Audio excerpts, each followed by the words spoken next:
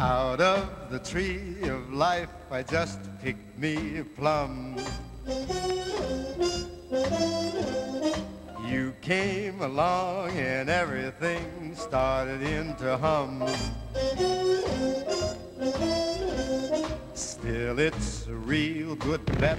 The best is yet to come. Best is yet come, and babe, won't that be fine? You think you've seen the sun, but you ain't seen it shine. Wait till the warm-up's underway. Ladies and gentlemen, Willie Farrell.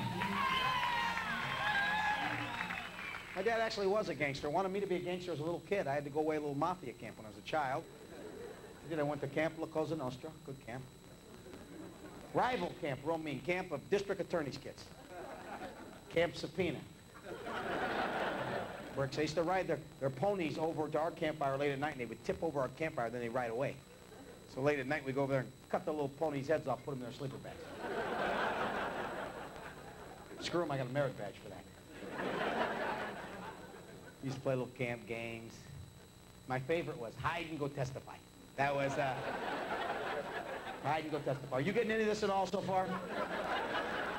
As you're staring at me like a dog watching a ceiling fan right now. Come on. Jump in.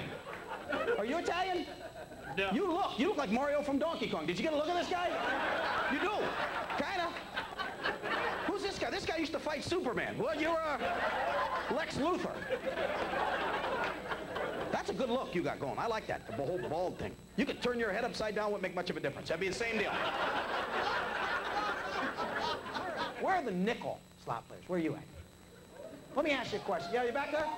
How bad does your life got to get you play nickel slots? You ever played nickel slots? You win like 4,000 coins, you're jumping up and down. It's $4. Give you a bucket big enough to take a bath in your dry. We got enough for a magazine. I don't play the slots. I drink too much. I got liquored up one night and played a cigarette machine for an hour and a half. When guys, back when we were kids, when you got drunk, you had no designated driver. Designated driver back then was the only guy who hadn't thrown up on himself. Remember that? Walk out of there, Ronnie, how many fingers? Seven. Well, you're closer than me. Okay.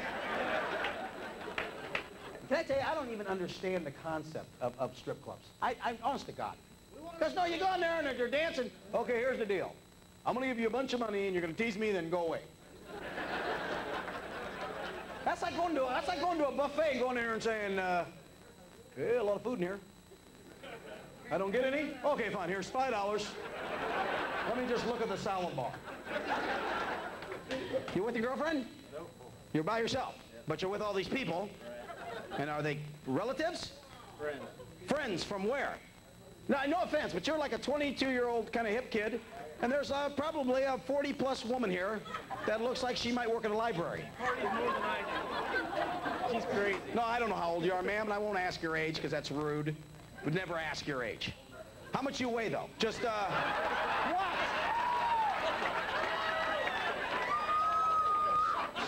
How old you are. You look good. What are you sleeping in Tupperware? You look pretty fresh. You really do. You look. I'm not. I'm not going to talk bad about my ex-wife because, well, court order, so I can't. But uh, I was married to her four and a half years, 15 if you count the wind chill factor. It was. Uh, boy, it was cold in that house. I remember just sitting there with a pair of mittens and an Elmer Fudd hat on, just trying to be very, very quiet. I, uh, I hated her. You got a kid, right? How old is he? 26 months, 26 months, which would be two years and a little, a little plus. Two years plus. Are you going to keep the month thing going forever? How old is he? He's uh, 340 months. He's, uh, Grandpa died, he was 7,000 months. Okay, I got a five-year-old daughter I'm crazy about. I'm crazy about. I would like to just hang around her and her friends. I like her little friends. I'd like to work at a daycare, but I don't think they're going to let me because uh, I helped out at a daycare one time, and uh, they wouldn't take a nap, so I gave all the little kids about this much NyQuil. And they... Uh, A lot of them slept till their parents got there. Do what's fun is when they start walking on you.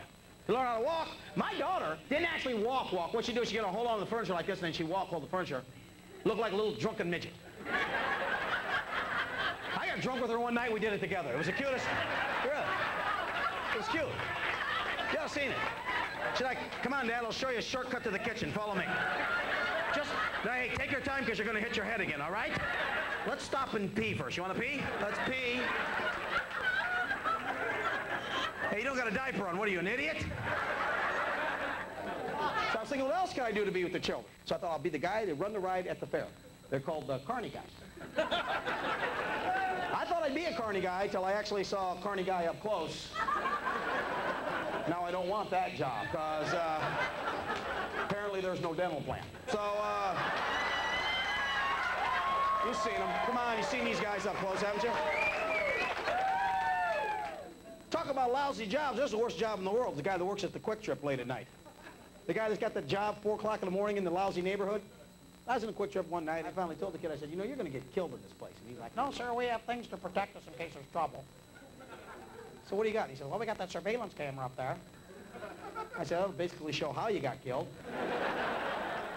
what else you got, Skippy? Here's what he told me. He said, well, we've got the, we've got the uh, height charts on the door, the height thing. You ever seen the height charts on the door? There's height charts on the door. I said, what's that for? He says, well, in case we get robbed, we can tell the police how tall the robber is and then catch him. I said, that's if the robber will cooperate and stand underneath him before he leaves. What, does he rob you, then run to the door and go like that, then take off? You moron!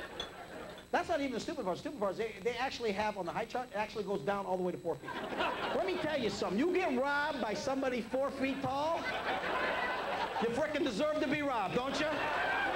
You're a wussy. Benny.